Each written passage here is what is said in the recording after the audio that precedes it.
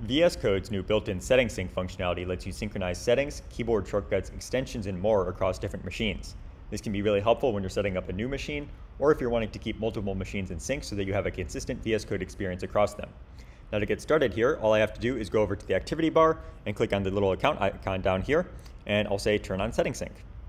Now VS Code is asking what I actually want to synchronize. In this case, I'm going to have settings, keyboard shortcuts, user snippets, and I could have extensions synchronized as well. But in this case, I'm going to opt out of that because I want to manage the extensions manually on this machine.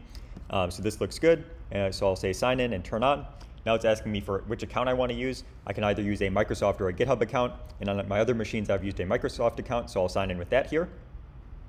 And now after signing in, VS Code is asking me how I want to handle my existing settings. And in this case, I just want to completely replace my existing local settings with the ones that are coming from Setting Sync. So I'll choose replace local, but you could go through and actually manually merge all of your existing settings if you wanted to, but I'll do replace local for now.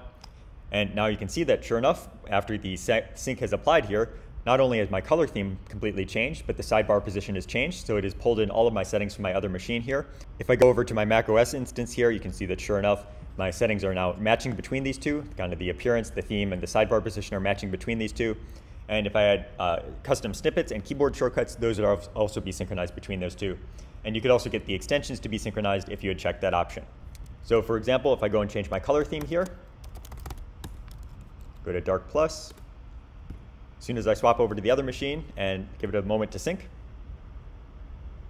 you can see that the color theme is updated over here as well. So that's a quick look at the setting sync extension for VS Code. As I mentioned, it's really helpful when you're setting up a new machine or if you're just wanting to keep multiple machines in sync so your VS Code experience is consistent across all of them.